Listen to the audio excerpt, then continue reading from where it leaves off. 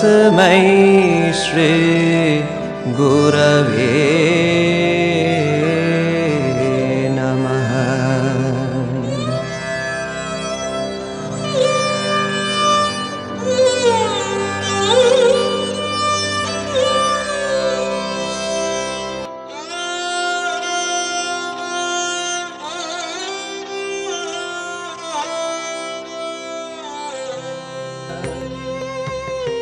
ప్రపంచ మతాల ఖగోళంలో పంతొమ్మిదవ శతాబ్దమందు రాబో కాలములో ప్రపంచ మతాలన్నిటినీ అనుసంధించు ఒక ఉన్నత ఆధ్యాత్మిక ప్రవాహాన్ని నిజమైన మతసారముపై శోభాయమానమైన కాంతులను విరజిమ్ముతూ ఒక దివ్య నక్షత్రము వెలుగొందింది. ఆ దివ్య నక్షత్రము ఎవరో కాదు అన్ని మత సిద్ధాంతాల సమన్వయకర్త అయిన శ్రీ రామకృష్ణ పరమహంసయే. కాలానికి అనుగుణమైన పరిజ్ఞాన సిద్ధులైన శ్రీ రామకృష్ణుని గూర్చి ఆయన ప్రధాన శిష్యుడు ప్రపంచ విఖ్యాతుడైన స్వామి వివేకానంద ఆయనను దివ్యత్వము యొక్క పరమావతారునిగా అభివర్ణించారు. స్థాపకాయ ధర్మస్య సర్వధర్మస్వరూపిణే అవతార వరిష్టాయ रामकृष्णाय ते नमः విశ్వమత స్థాపకుడవు సర్వమత సమన్వయ స్వరూపుడవు అయినట్టి ఓ రామకృష్ణ అవతారములన్నిటిలోనూ ఉత్తమోత్తమ అవతారమూర్తివైన నీకు నా ప్రణామాలు కొన్ని సందర్భాలలో మన మనసును కల్లోలపరిచే కొన్ని ప్రశ్నలు వెంటాడుతాయి మనము ఎవరు? ఇక్కడ ఎందుకు ఉన్నాము? మానవ జీవిత పరమావధి ఏమిటి? ఈ సృష్టికర్త ఎవరు? ఎందరో లెక్కలేనంత మంది ఆలోచనాపరులు సంతులు పండితులు తమ స్వానుభవముల విచారముల ద్వారా ఎన్నో యుగాల నుండి ఈ ప్రశ్నల సమాధానాలకు ప్రయత్నిస్తున్నారు. కానీ ఫలితంగా ఒకదాన్ని ఒకటి వ్యతిరేకించే ఎన్నో లెక్కలేనని సిద్ధాంతాలు పిడివాదాలు తలెత్తాయి. దీనికి తోడు వైజ్ఞానిక మరియు సాంకేతిక పురోభివృద్ధి మూలంగా మనము నివసించే ప్రపంచ వృత్తిని గూర్చి మానవ జాతి పవిత్రంగా భావించే పవిత్ర మత నమ్మకాలు హేతువాదబద్ధమైన అభిప్రాయాలు ఏర్పడ్డాయి. ఈ అభివృద్ధి చెందే అపనమ్మకాలకు మరియు మారుతున్న కాలాలకు సంబంధించి మనము ఎదుర్కొనే అనేక సమస్యలకు పంతొమ్మిదవ శతాబ్దిలో ఆవిర్భవించిన శ్రీ రామకృష్ణ పరమహంస ప్రామాణికములు ఆమోద్యయోగ్యములు అయిన సమాధానాలను అందించారు. ఎడతెగిన దైవ చైతన్యములో లీనమైన ఆయన సత్యమతానికి సజీవ ప్రతీక. బాధాతప్తమైన మానవాళిపై ఆయనకు గల అనుతాపము ఏ విధమైన అడ్డంకులు గాని తారతమ్యాలు గాని లేనిది. శ్రీరామకృష్ణుని జీవితము ఎంత అద్వితీయమైనదంటే ఆయన ప్రతి ఉపదేశము ఆయన నిత్య జీవితంలో అంత చక్కగా ప్రతిబింబించాలి ఆధ్యాత్మిక ఓదార్పు కొరకు దిప్పికగొన్న హృదయాలకు ఆయన ఆధ్యాత్మిక ప్రేరణ అవిరామముగా దాహము తీర్పు నిత్య నిరంతర నీటి ఊట. భాగవతములోని ఈ వివరణ శ్రీరామకృష్ణునికి యుక్తముగా అన్వయిస్తుంది. తవ కథామృతం తప్త జీవనం కవిభిరీడితం కల్మషాపహం శ్రవణమంగళం श्रीमदाततं भुवि गृह्णन्ति ते भूरिदा जना నీ కథామృతము జీవనము కల్మశాలను ప్రక్షాళన చేస్తాయని భూరిజనులు ప్రశంసించారు వాని శ్రవణమే పవిత్రము శాంతిదాయకము నీ నామాన్ని నలుదిశలా వ్యక్తి చేసేవారే నిజమైన దాతలు. ప్రస్తుత పశ్చిమ బెంగాల్ హుగ్లీ జిల్లాలోని కమార్పకూర్ అనే గ్రామంలో ఫిబ్రవరి పద్దెనిమిది పద్దెనిమిది వందల ముప్పై ఆరున శ్రీరామకృష్ణుడు జన్మించారు. ఆయన తండ్రి ఒక బ్రాహ్మణ భక్తుడు. శ్రీరామకృష్ణుని జననానికి పూర్వము గయా విష్ణువు ఆయనకి దర్శనమిచ్చి నీకు కుమారునిగా జన్మిస్తానని ప్రకటించారు. ఇదేగాక తల్లి చంద్రామణీదేవికి కలిగిన దర్శనము కూడా కలిసి తమకు జన్మించింది భగవంతుడిగాక వేరెవరూ కాదని అతనికి గదాధరుడని పేరు పెట్టారు. ప్రేమగా గదాయ్ అనేవారు.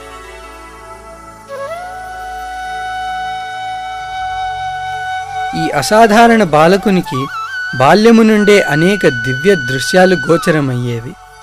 వ్యావహారికమైన విద్యపై ఎక్కువ మక్కువ చూపలేదు. దానికి బదులు తన కాలాన్ని వివిధ దైవభక్తి ప్రధానమైన నాటకులను తోటి ఆటగాండ్రలతో కలిసి నటించేవారు. గదాధరుడు తన పెద్దన్న గారితో దృఢంగా ఇలా అన్నారు. దైవ సాక్షాత్కారమే ఈ జీవిత పరమావధి. ఈ పట్టకోటి చదివిపోయి నాకు ఎలాంటి శ్రద్ధ లేదు. ఒకసారి వరి పొలాల మధ్య నడుస్తూ ఆకాశంలో నల్లని కారు మేఘాల మధ్య తెల్లని కొంగల బారును చూసి ప్రకృతి యొక్క ఈ దివ్య సౌందర్యానికి సమాజమగ్నమైనాను శివరాత్రి నాడు ఒక నాటకములో శివుని వేషధారిగా నటించి దానిలో శివానుభావముతో తాదాత్మ్యము చెంది బాహ్య చైతన్యాన్ని కోల్పోయారు. బాల్యము నుండే ఆయనకు సత్యమునందు ప్రగాఢ విశ్వాసము ఆచార ప్రకారము తల్లి చంద్రామణి వద్ద నుండి తీసుకోవలసిన మొదటి భిక్షకు బదులు నిమ్నజాతి స్త్రీ అయిన ధనీకమారి వద్ద నుండి తన ఉపనయన సమయమున మొదటి భిక్షను గ్రహిస్తానని ఇచ్చిన మాటను జవదాటలేదు. తర్వాతి కాలములో శ్రీరామకృష్ణులు అనేవారు. కలియుగంలో ఒక సత్యానికి కట్టుబడి ఉంటే చాలు. భగవత్ సాక్షాత్కారము పొందవచ్చు.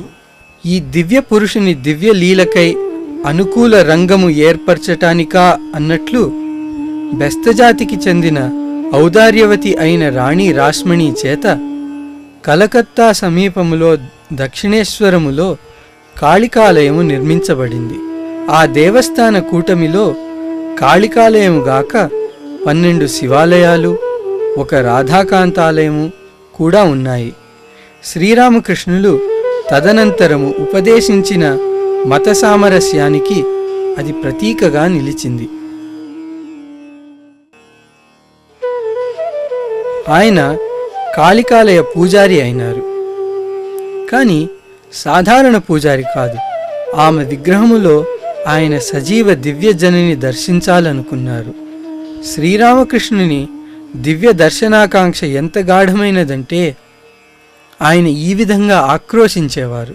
ఓ అమ్మా నీ దర్శన భాగ్యము లేక ఇంకొక దినము వ్యర్థముగా గడిచిపోయింది. దివ్య జనని దర్శనము లేక జీవితము వ్యర్థ ప్రయాసము అని దానిని అంతము చేసుకో చూచిన తరుణములో ఆమె దర్శన భాగ్యముతో ఆయన ఆక్రంతన ముగిసింది. ఆయన దివ్యజనుని భావనలు ఆలోచనలలో ఎంతగా మునిగిపోయారంటే ప్రజలు ఆయనను పిచ్చివానిగా భావించేవారు. ఆయన తల్లి చంద్రామణిదేవి సహజమైన మాతృవాత్సల్యముతో తన కుమారునికి వివాహము జరిపిస్తే అతని ఆరోగ్య పరిస్థితి మెరుగై మామూలు స్థితికి వస్తాడని ఆలోచించింది. ఇరవై మూడు సంవత్సరాల వయస్సులో ఐదు సంవత్సరాల బాలిక శారదాదేవితో ఆయన వివాహము జరిగింది. ఏమైనా ఈ వివాహము ఆయనను దైవోన్మాదము నుండి నయము చేయలేకపోయింది. తదనంతరము జరగబోయే దైవలీలకు ఈ వివాహము కొత్త అధ్యాయాన్ని తెరిచింది. వివాహానంతరము దక్షిణేశ్వరము తిరిగి వెళ్ళి మరల అనేక ఆధ్యాత్మిక సాధనలలో దూకారు. తనను పిచ్చివాడు అని విమర్శించే వారందరితో ఆయన ఇలా అనేవారు. ఈ ప్రపంచంలో అందరూ పిచ్చివారే. కొందరికి స్త్రీ పిచ్చి కొందరికి ధన పిచ్చి కానీ నాకు దైవ పిచ్చి. భగవంతుని వివిధ రూపాలను వానిని సిద్ధింపజేసుకునే వివిధ మార్గాల వెనుక గల సత్యాన్ని తెలుసుకోవాలని ఉవ్విళ్ళూరారు. పన్నెండు సంవత్సరాలు సాగిన ఈ అద్వితీయ ప్రయోగము ఆధ్యాత్మిక చరిత్రలోనే నూతనత్వానికి దారితీసింది ఒకసారి దక్షిణేశ్వరములోని రాధాకాంతాలయమునందలి గోవిందుని విగ్రహం ఒక పూజారి చేతిలో నుండి జారిపడి కాలు విరిగింది. అప్పుడు అందరూ పండితులు పూజారులు పగిలిన విగ్రహానికి పూజలు చేయరాదని దానిని నదిలో నిమజ్జనము చేసి కొత్త విగ్రహాన్ని ప్రతిష్ఠించాలని అభిప్రాయపడ్డారు. పరిహారానికి శ్రీరామకృష్ణుని సమీపించినప్పుడు ఆయన ఇలా అన్నారు. రాణి రాస్మణి తన అల్లుని కాలు విరిగితే అతనికి నీట ముంచి వేస్తారా?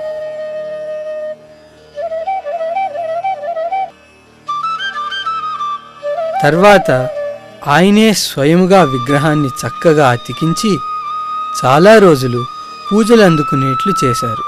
హిందూ మతములోని వైష్ణవ శాక్త వేదాంత మొదలైన అనేక తెగలకు చెందిన గురువులు ఒక తర్వాత ఒకరు దక్షిణేశ్వరానికి వచ్చారు. భైరవి బ్రాహ్మణి ఆయనకు అన్ని తంత్ర సాధనలు ఉపదేశించారు. శ్రీరామకృష్ణుని అసాధారణ నడతను దివ్య సమాధులను వీక్షించి ఆమె పండిత సభలో బహిరంగముగా ఈ విధముగా చాటించారు. చైతన్యుని వలె ఆయన కూడా భగవదవతారం. సుప్రసిద్ధ గౌరీ పండితులు భైరవి బ్రాహ్మణి తీర్మానాన్ని అంగీకరించటమే గాక ఇలా చాటించారు. ఆయన ఒట్టి అవతార పురుషులే కాక అన్ని అవతారాల ఆవిర్భావానికి మూలమైన పరమ చైతన్యం.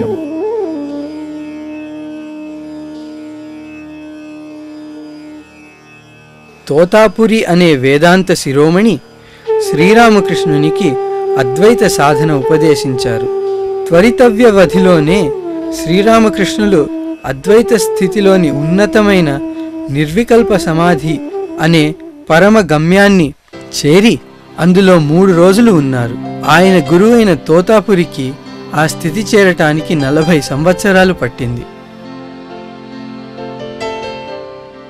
శ్రీరామకృష్ణులు ఇస్లాం క్రిస్తమత సాధన చేసి తాను చేపట్టిన పని అందలి ఏకోన్ముఖ భక్తి వలన అల్ప వ్యవధిలోనే ఉన్నత స్థితికి చేరారు.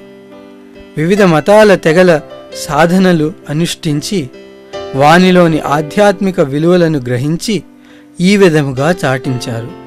మతాలు ఎన్నో మార్గాలు అన్ని అన్ని మార్గాలు ఒకే గమ్యాన్ని చేరుస్తాయి. శ్రీరామకృష్ణులు సాధనా సమయంలో తాను ఉన్నత వంశస్థుడని ఆలోచన తొలగించుకోటానికి అర్ధరాత్రి హరిజనుల మరుగుదొడ్లను తన దీర్ఘ శిరోజాలతో శుభ్రం చేసేవారు. ఆ మధ్యకాలంలో జయరాంబాటిలోనున్న పద్దెనిమిది సంవత్సరాల ప్రాయము గల శారదాదేవికి ఆయన దివ్యోన్మాదము కూర్చిన అపోహలు చేరాయి. శ్రీరామకృష్ణునికి అవసరమైన ఆ సమయములో ఆమె దక్షిణేశ్వరము చేరి ఆయనకు సేవలందించాలని నిశ్చయించుకుంది. అంత దీర్ఘమైన కాలినడక అలవాటు లేని శ్రీ శారదాదేవి అనారోగ్యానికి గుర్తయింది. దివ్య జనని కాళీమాతే స్వయముగా వచ్చి సేదదీర్చి ఇలా పలికింది. నేను నీ సోదరిని. శ్రీరామకృష్ణులు దక్షిణేశ్వరంలో క్షేమంగా ఉన్నారు. నీవు ఆయనను చూస్తావు. దక్షిణేశ్వరము చేరగానే శ్రీరామకృష్ణులు ఆమెను సాదరంగా ఆహ్వానించి ఎంతో శ్రద్ధగా ఆమెకు సపర్య చేసి ఓదార్చారు. ఈ పని శారదాదేవికి తన భర్త అయిన శ్రీ రామకృష్ణుని మానసిక స్థితిపై గల అపోహలను తొలగించింది. శ్రీ శారదాదేవి దక్షిణేశ్వరములో శ్రీరామకృష్ణుని గదిలో ఎనిమిది నెలలు నివసించింది. ఒకరోజు శ్రీరామకృష్ణులు ఆమెని అడిగారు నీవు నన్ను ప్రాపంచిక జీవిత మార్గంలోనికి లాక్కెళ్ళటానికి వచ్చావా? నిశ్చయముగా కాదు. అని ఒక నిమిషం కూడా ఆలోచించకుండా దివ్యజని సమాధానమిచ్చారు. నేనెందుకు మిమ్మల్ని ప్రాపంచికత వైపు దింపాలి? మీ ఆధ్యాత్మిక ధ్యేయాన్ని సాధించటంలో మీకు సాయపడటానికే నేను ఇక్కడ ఉన్నది. ఇంకొక సందర్భంలో శ్రీ శారదాదేవి రామకృష్ణుని పాదాలు ఒత్తుతూ అడిగారు. మీరు నన్ను ఎలా భావిస్తున్నారు? వెంటనే శ్రీరామకృష్ణులు ఏ తల్లి గుడిలో పూజలు అందుకుంటున్నదో ఏ తల్లి నాకు జన్మనిచ్చి ఇప్పుడు సహబత్తులో ఉన్నదో ఆ తల్లే ఇప్పుడు నా పాదాలు మర్దన చేస్తున్నది. శ్రీరామకృష్ణుల ఆగమనం మత సామరస్యాన్ని ప్రదర్శించి చూపడానికే అని ఎవరో వ్యాఖ్యానించినప్పుడు ఆమె ఇలా అన్నారు. ఆయన ఈ యుగ సందేశము త్యాగమే. అటువంటి మానవాతీత త్యాగాన్ని మీరెక్కడైనా చూసి ఉన్నారా?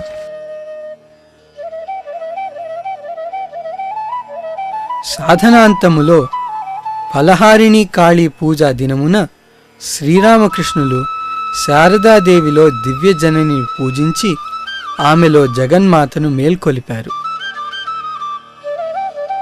ఒకసారి జయరాంబాటి నుంచి దక్షిణేశ్వరము వెళ్ళే దారిలో దొంగలు ఉంటారనే భయంతో థేలోబేలో అనే ప్రాంతంలో మాతృదేవి తోటివారంతా ఆమెను వెనకేసి వదిలి వెళ్ళిపోయారు. ఆ సమయంలో ఆమె ఒక దొంగను ఎదుర్కోవాల్సి వచ్చింది. ఏ విధమైన చలనము లేకుండా ఆమె అతనిని నాన్న అని ఆ దొంగ భార్యను అమ్మ అని పిలిచింది. అది వాళ్ళ చేష్టలను మార్చేసింది. వాళ్ళు దివ్య జననిని నిజంగానే తమ స్వంత కూతురిలాగా ఆ రాత్రి చూసుకోవటమే గాక తర్వాత దక్షిణేశ్వరము కూడా వెళ్ళారు. ఆ దొంగ తన ఇష్టదేవత అయిన కాళీమాతను జగజ్జనిలో చూశారు. పరివర్తన చెందిన ఆయన పరిమళం ఎందరో ఆధ్యాత్మిక సాధకులు తండోపతండాలుగా దూర ప్రాంతాల నుండి శ్రీరామకృష్ణుని చేరసాగారు. పరిపూర్ణముగా వికసించిన పుష్పాన్ని తేనెటీగలు చేరినట్లు. తన జీవనా సరళి ద్వారా ఆయన వారందరినీ ఆధ్యాత్మిక మార్గము వైపు నడిపించారు. వారిలో ఎంతో ప్రఖ్యాతిగాంచిన బ్రహ్మ సమాజ్ నాయకుడు కేశవచంద్రసేన్ నుండి నిరక్షరాస్యుడైన లాటు వరకు ఉన్నారు. ఆయన స్పర్శచేతనే తాను దుర్మార్గుణ్ణి అని భావించే ప్రముఖ బెంగాలీ నాటకకర్త గిరీష్ చంద్ర ఘోష్ వంటి ఎందరో పరివర్తన చెందారు. ఒకసారి వైష్ణవ మత సిద్ధాంతాలైన భగవన్నామమందలి భక్తి భగవద్భక్తుల సేవ జీవకారుణ్యము మొదలైనవి వివరిస్తూ శ్రీరామకృష్ణులు సమాధి చెందారు. దాని నుండి దిగి వస్తూ అన్నారు కాదు కాదు జీవ కారుణ్యము కాదు. వారి సేవ వివిధ రూపాల్లో ఉన్న నారాయణ సేవే.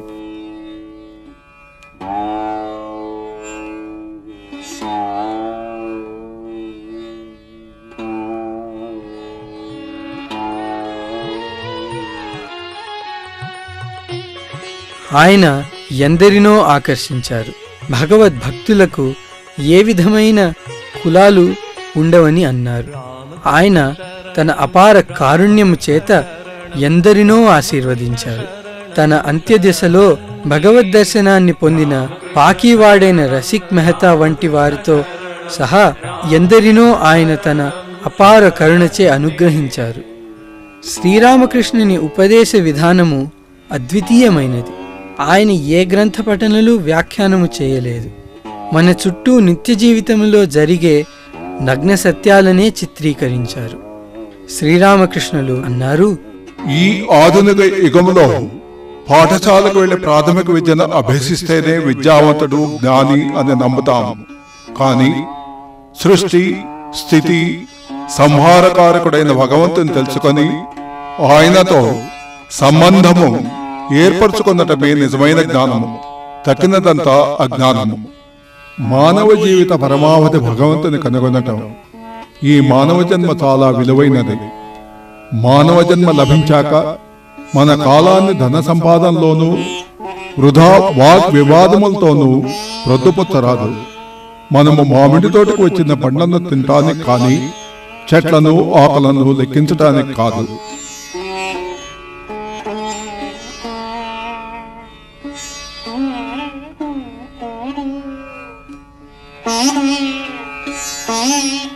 భగవంతుడు సాకారుడు నిరాకారుడు బ్రహ్మాన్ని ధ్యానించు.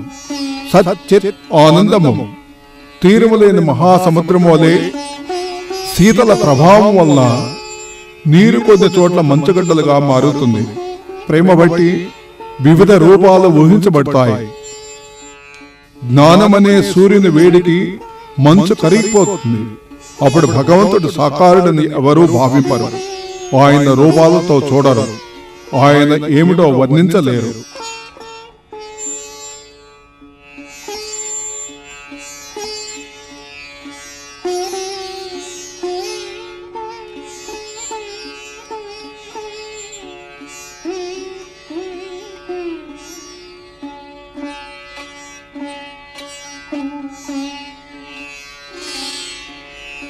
పరిపూర్ణ జ్ఞానం పొందిన వ్యక్తి శబ్దాతీతుడు అవుతాడు. అతని ఆత్మ విచారణ పూర్తి కానంత కాలము వాదిస్తాడు. ఖాళీ కుండలో నీరు నింపుతున్నప్పుడు శబ్దం చేస్తుంది. నీటితో పూర్తిగా నిండి చెరువులోని నీటితో కలిసిపోయినప్పుడు ఏ విధమైన శబ్దమో వినిపించదు. కానీ అదే నీరు మళ్ళీ మళ్ళీ వేరు వేరు ఖాళీ కుండల్లో పోసేటప్పుడు తిరిగి శబ్దం వింటావు. సమాధి స్థితిలో బ్రహ్మజ్ఞానం కలిగి అన్ని హేతువాదాలు నిలిచిపోతాయి. ఒకసారి ఒక ఉప్పు బొమ్మ మహాసముద్రపు లోతు కొలవడానికి వెళ్ళింది.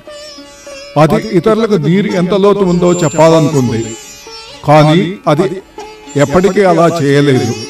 ఎందుకంటే అది నీటిలో చేరిన తక్షణమే కరిగిపోయింది. ఇప్పుడు లోతు చెప్పడానికి ఎవరున్నారు?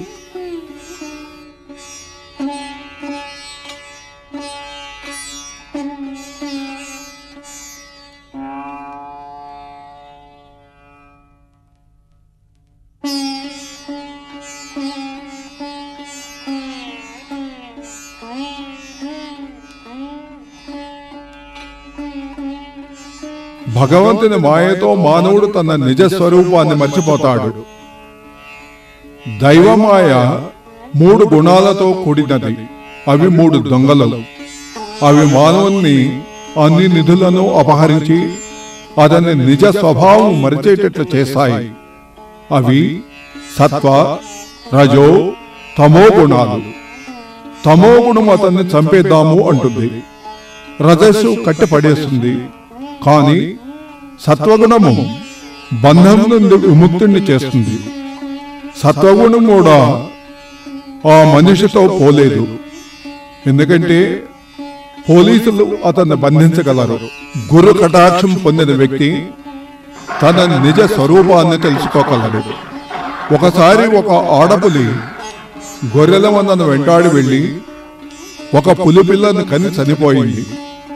ఆ పిల్ల గొర్రెల సహవాసంలో పెరిగి గడ్డి తిని వాటిలాగే అరవటం మొదలుపెట్టింది.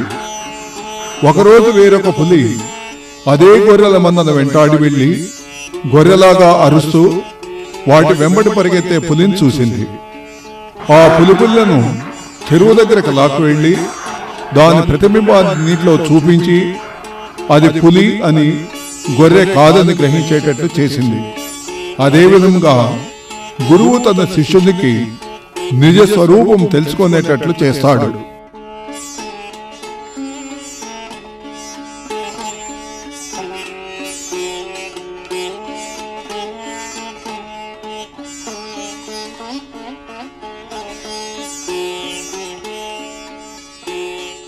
శ్రీరామకృష్ణులు తన సంభాషణల ద్వారా ఆధ్యాత్మిక ఉపదేశాలను వెలువరించేవారు.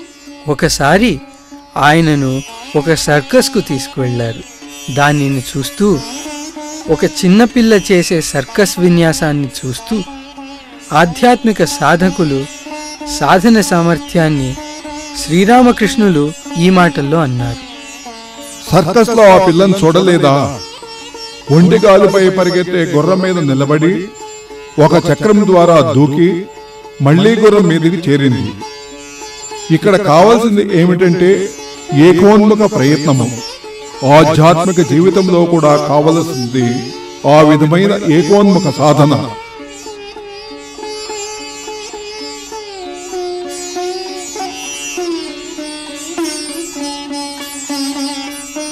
ఆచరణాయోగ్యము కాని శుష్క గ్రంథ పాండిత్యాన్ని ఆయన ఎన్నడూ హర్షించేవారు కాదు.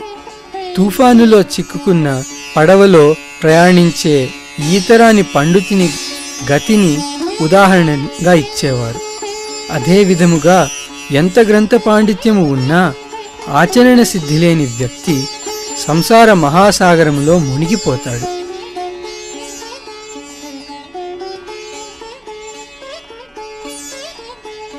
కలకత్తాలోని కాశీపూర్ ఉద్యానవనం గృహములో తన యువ శిష్యులకు కాషాయ వస్త్రాలనిచ్చి పదహారు మంది సన్యాస శిష్యులతో రామకృష్ణ సన్యాస ఉద్యమాన్ని ప్రారంభించారు.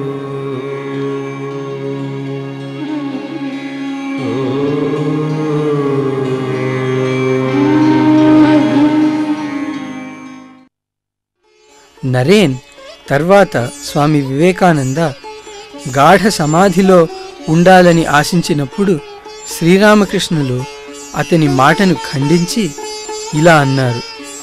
నీ ఒక పెద్ద మరి వృక్షంలాగా ఉండి దీన జనావళికి ఆశ్రయాన్ని అందించాలి.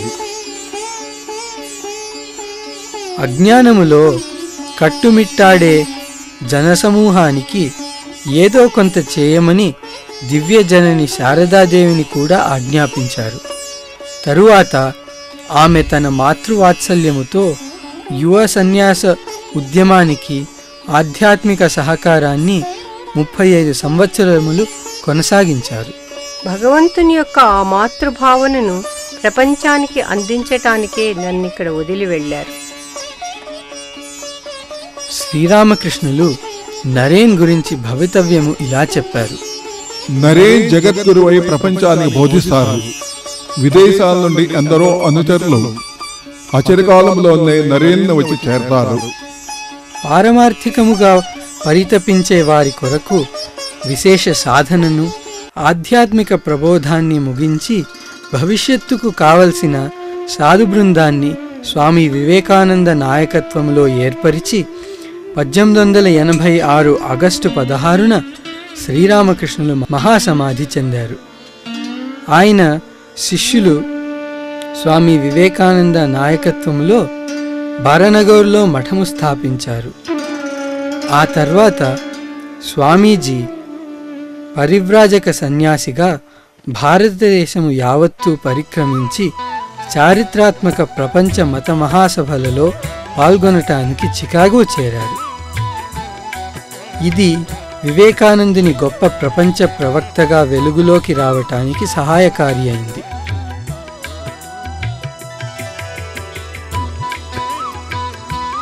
పద్దెనిమిది వందల తొంభై మూడో సంవత్సరం సెప్టెంబర్లో చికాగో సర్వమత మహాసభలో పొందిన ఘన విజయము మరియు వేదాంత ప్రబోధకుడుగా గడించిన ఖ్యాతి పద్దెనిమిది వందల తొంభై ఏడో సంవత్సరంలో రామకృష్ణ మిషన్ స్థాపనకు మార్గము ఏర్పరిచింది. రామకృష్ణ సంఘ జంట లక్ష్యాన్ని ఆయన ఈ విధంగా ప్రకటించారు.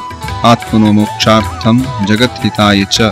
స్వీయ ముక్తి మరియు ప్రపంచ క్షేమం అదే ఈనాటి వరకు సంస్థకు నాయకత్వం వహిస్తున్నది. పంతొమ్మిది వందల ఒకటో సంవత్సరంలో బేలూరులో రామకృష్ణ మఠము స్థాపించబడినప్పుడు స్వామి వివేకానంద ఊహించారు. ఇక్కడ నుండి ప్రసరించే ఆధ్యాత్మిక శక్తి ప్రపంచాన్ని నింపివేసి మానవుల కార్యకలాపాలకు ఆశయాలకు కొత్త పద్నాలను ఏర్పరుస్తుంది. జ్ఞాన భక్తి యోగా కర్మల సమన్వయ భావాలు ఇక్కడి నుండి వ్యాపిస్తాయి. ఈ మఠాన్ని మేము సమన్వయానికి గొప్ప కేంద్రముగా రూపొందిస్తాం. పరిపూర్ణ సామరస్య భావనన్నిటికీ మా భగవంతుడు కనిపించే సజీవమూర్తి. పద్దెనిమిది వందల తొంభై ఏడో సంవత్సరంలో స్వామి వివేకానంద సోదరి నివేదితతో కలిసి కలకత్తాలో ప్లేగు వ్యాధి నివారణ ఉద్యమాన్ని మరియు ముషీరాబాదు ప్రాంతంలో స్వామి అఖండానంద కరువు నివారణ కార్యక్రమాన్ని చేపట్టారు. తదనంతరము దేశంలోని వివిధ ప్రాంతాలలో ఏర్పడే ప్రకృతి వైపరీత్యాల సమయములో నివారణలు పునరావాస కార్యక్రమాలు మిషను యొక్క సేవా కార్యక్రమ చరిత్రలో ఒక ముఖ్య భాగమైపోయింది. ఈ మధ్యకాలంలో మిషను నివారణ పునరావాస కార్యక్రమాలను ఒరిస్సా తుఫాను గుజరాత్ భూకంపము సందర్భాలలో చేపట్టి ఆ ఒక్కచోటే ఇరవై కోట్ల రూపాయల వరకు వెచ్చించింది.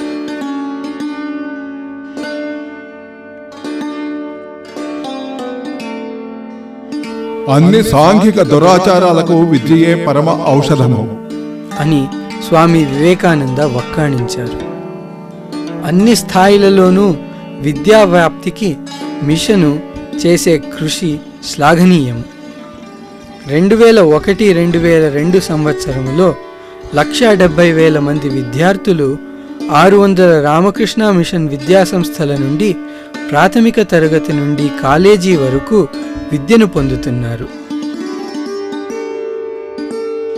ఇవిగాక రామకృష్ణ మిషన్ చేపట్టిన గ్రామీణాభివృద్ధి పథకాలు కూడా ఎంతో ప్రోత్సాహకారముగా ఉన్నాయి.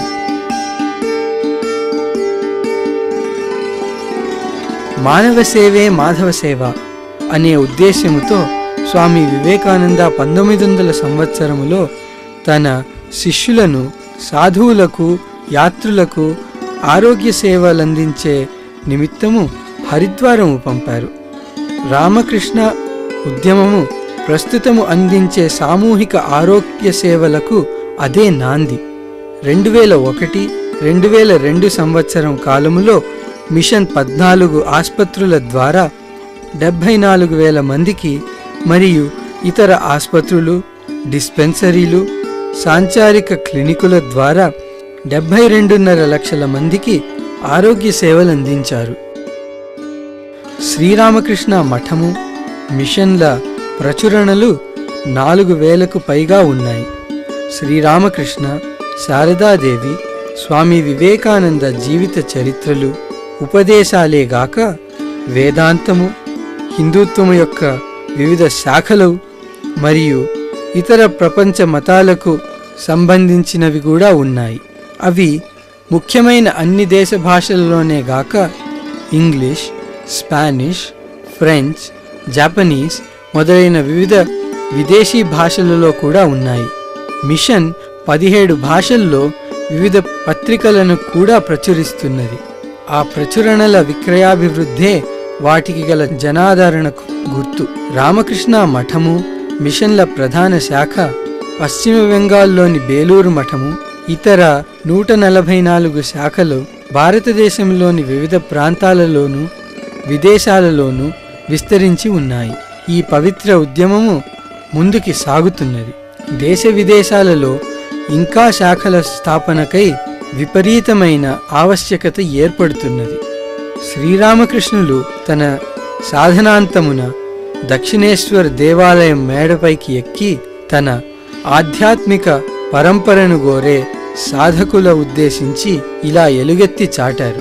దైవాన్ని పొందాలనే ఆతురత గల సాధకుడు ఇక్కడకు వచ్చి తీరాల్సిందే. ఆయన పిలుపు ఆధ్యాత్మిక సాధకులను అమిత సంఖ్యలో ఇప్పటికీ కంపింపజేస్తూనే ఉంది. ప్రతి ఒక్కరికి శ్రీరామకృష్ణుని పిలుపు. నీ జీవన దిక్సూచిని ఎల్లప్పుడూ మానవ జాతి లక్ష్యము వైపు తిప్పు. అంతర్గత దైవత్వాన్ని తెలుసుకోవటం మరియు దానిని బహిర్గతం చేయటం. అందరితో సమానముగా జీవించండి. తోటి మానవులను దైవస్వరూపులుగా సేవించండి. స్త్రీలందరిలో దివ్య జనని దర్శించి భగవంతుని మాతృత్వ వైఖరిని గౌరవించండి. సత్యవచనమే కలియుగములో తపస్సు. మన మాతృదేశపు శోభాయమానమైన భవిష్యత్తుకు వాటిని మీ జీవితంలో ఆచరించి ఈ ఆదర్శాలను ఇతరులకు బోధించండి.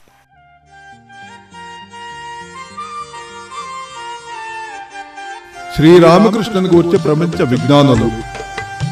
రోమారోలా గొప్ప ఫ్రెంచ్ నోబెల్ గ్రహీత ఆయన అన్నారు నేను ఇక్కడ ప్రతిష్ఠించిన ఈ మానవ విగ్రహము మూడు వందల మిలియన్ ప్రజల యొక్క రెండు వేల సంవత్సరముల ఆధ్యాత్మిక జీవన పరిపూర్ణత్వం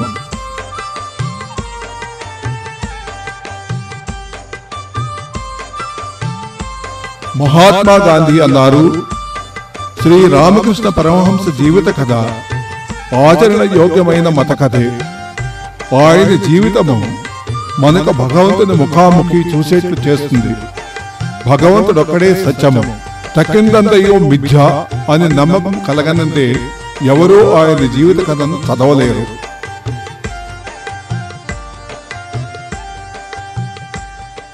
ఆర్నాల్డ్ జే. టాయన్బి గొప్ప చరిత్రకారుడు నోబెల్ గ్రహీత ఇలా అన్నారు. ఆయన హిందూ మతంలోని అన్ని రూపాలను ఇస్లాం క్రైస్తవ మతాలను కూడా సాధన చేశారు.